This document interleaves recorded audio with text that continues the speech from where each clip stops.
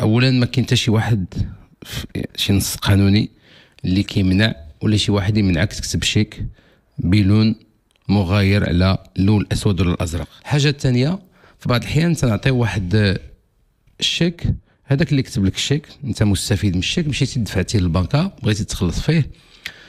هذاك البنكي تيكتشف بأن كاين هناك اختلاف ما بين المبلغ مكتوب بالأحرف مع المبلغ اللي مكتوب بالأرقام.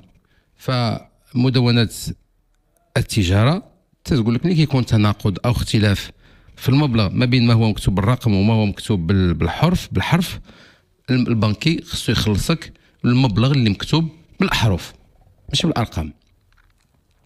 المعلومة الثالثة هي ملي كتقدم أنت كمستفيد بالشيك كتقدم للبنكة وتيجاوبك هذاك البنكي تيقول لك ما عندوش المؤونة. أنت من حقك تسولو واحد السؤال قبل ما يعطيك شهادة عدم وجود المؤونة. تقول الله يكثر خيرك؟ واش كاين شي حاجة في الحساب ولا ما كاين حتى حاجة؟ كتسولو هذا السؤال تيجاوبك هو المؤونة غير كافية. قانون مدونة التجاره دائما كتعطيك الحق أنك تطلب تخلص في هذاك الشيء اللي موجود في الحساب ديالو. ويعطيك شهادة سلبية أو شهادة عدم وجود المؤونة بالنسبة للمتبقى.